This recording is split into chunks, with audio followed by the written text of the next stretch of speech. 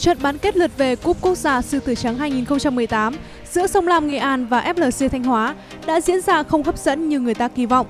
Và dưới đây là một số điểm nhấn đáng chú ý của trận derby Bắc Trung Bộ này. Đầu tiên, phải nói tới sự xuất hiện của Phan Văn Đức và Phạm Xuân Mạnh. Hai cầu thủ vừa trở về sau một kỳ ASEAN thành công cùng Olympic Việt Nam. Đây là một điều khá bất ngờ bởi dù là những cầu thủ quan trọng của Sông Lam Nghệ An, song không nhiều người nghĩ huấn luyện viên Nguyễn Đức Thắng lại sử dụng bộ đôi này bất chấp những lo ngại về vấn đề sức khỏe. Và điều không may đã xảy ra khi sự mạo hiểm của huấn luyện viên Nguyễn Đức Thắng đã phải trả giá bằng việc Xuân Mạnh và Văn Đức đều phải sớm rời sân do chấn thương. Tệ hơn, với riêng Xuân Mạnh, hậu vệ 22 tuổi bị nứt xương và phải nghỉ thi đấu 4 tuần.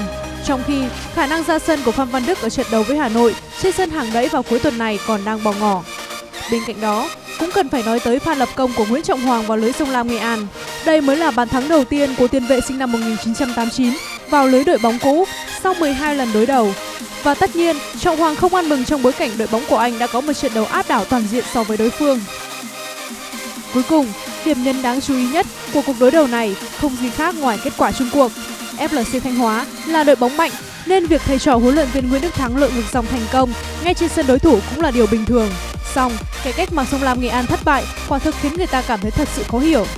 Có lợi thế sân nhà, lợi thế dẫn trước 3-2 ở trận lượt đi và tâm lý hưng phấn sau chuỗi trận thăng hoa vừa qua.